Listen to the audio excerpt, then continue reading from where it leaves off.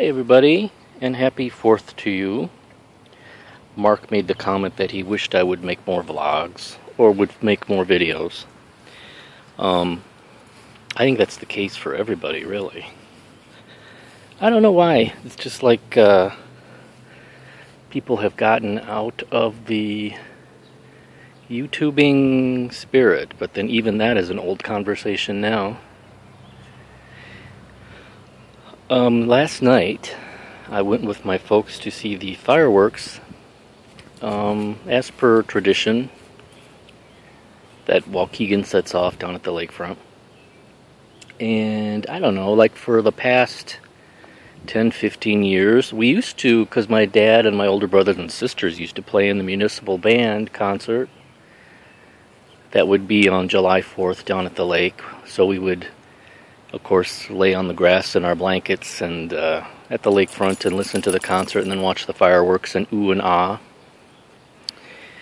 But uh, for the past 10, 15 years or so, maybe longer, because I keep forgetting how very old I am now, um, the thing is to park your car, not go all the way down to the lakefront because it gets very crowded and it's like hell to try and get home before midnight with all of the ped- pedestrians and cars trying to uh, make their way from the lakefront back to their homes. So the new thing is to park out on the uh, expressway, Waukegan's Amstutz Expressway.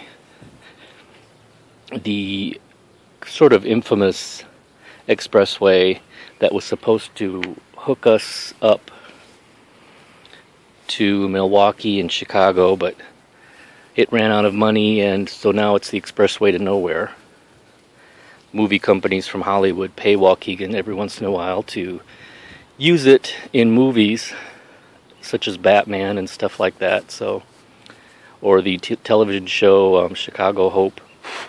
Whenever they need, oh, Busby, it's mosquitoy. Let's go. Whenever they need an expressway crash site or something, that started with the movie The Wedding with Carol Burnett back in the 70s. They used it in that movie too. Anyway, so as per the new tradition, we parked on the expressway to watch the fireworks. Rather hot, so and it was mosquitoy, so fireworks started at 9:30. So I had the ignition on. Busby was on my lap, of course, panting and drooling. So I had the ignition on so some air would come through the vents. Dad had the radio on as per usual, listening to patriotic music while we watched the fireworks. And the battery went dead. So here we are stuck on the expressway at 10 o'clock at night. Roadside assistance would not tow on a highway, uh, would not jump, give us a jump on the highway. They would only tow us. So I said, heck with that hang up from them. Let's call my sister and brother in law who live in town. Get them to come over and just give us a jump. So they go to bed like at 9 o'clock, so we had to get them out of bed to come and give us a jump on the expressway so we could get home. And then we got rerouted and stuck in some of the traffic. And one of the dumb traffic cops was, for some reason, routing people. Oh, look at the delphiniums was routing people into the train station parking lot, which is a dead end. And we all had to turn around and come back out again. So it was quite a drive, an experience home. Yes, wasn't it, Busby? Mosquitoes are bad in the shade. Of course, that's where Busby likes to stop because he hates the heat. So that was my July 4th firework experience. How was everybody else's? Did you have a good show? I know Squincy said on Facebook that hers got rained out. Billy said he wasn't uh,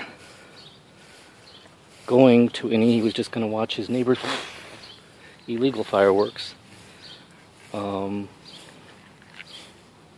Antonio, I don't know if you guys know, but Antonio graduated from his uh, design college and has moved to Florida. He no longer lives in Puerto Rico. He's living with his boyfriend, significant other, in Florida. So he's had a lot of changes. I've been trying to get him to uh, vlog about it, and he said that he will.